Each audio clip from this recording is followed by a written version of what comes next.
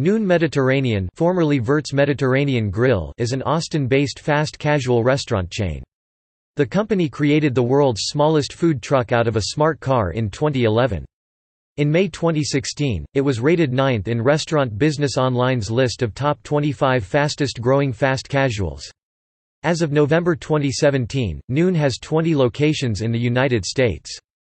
Noon co-founder Dominik Stein was included on Forbes 30 Under 30 list under the food and drink category in 2017. Topic History Verts was founded in 2011 by two University of Texas and WHU, Otto Beisheim School of Management alumni, Michael Hain and Dominik Stein to recreate popular food from Europe which was not available in America. In February 2014, the chain announced it would be expanding into Houston. In October 2014, Verts entered an agreement to open three locations in Dallas-Fort Worth. Verts opened its first San Antonio location in September 2015. In December 2015, the company brought in $20 million in private equity, which would be used to expand the restaurant to the East Coast.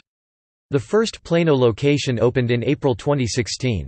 Poets and Quants named Verts one of the top MBA startups in January 2016. In September 2016, Verts announced a new location in Center City, Philadelphia, which opened in March 2017.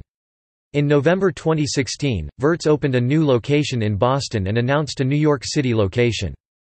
Two more Boston locations were announced in February 2017, and a location in Washington, D.C. was announced that March.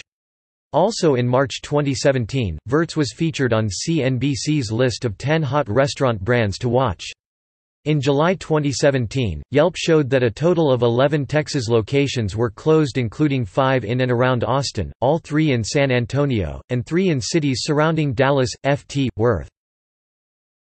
In November 2017, Verts was rebranded as Noon Mediterranean.